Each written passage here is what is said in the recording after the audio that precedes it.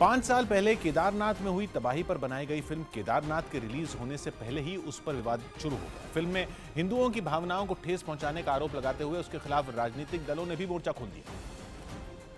और फ़िल्म पर बैन लगाने की मांग की। बीजेपी नेता अजेंद्र अजय ने फ़िल्म की कहानी पर ऐतराज जताते हुए सेंसर बोर्ड को एक लेटर लिखा जिसमें उन्होंने फ़िल्म के ज़रिए लव जिहाद को बढ़ावा देने का आरोप लगाया। जो टीजर और पोस्टर जो जारी हुआ है उसमें कई आपत्तिजनक तथ्य हैं। मैंने इस मामले को लेकर के जो भारतीय फ़िल्म प्रमाणन बोर्ड है उसके अध्यक्ष प्रसून जोशी जी को पत्र लिखा है।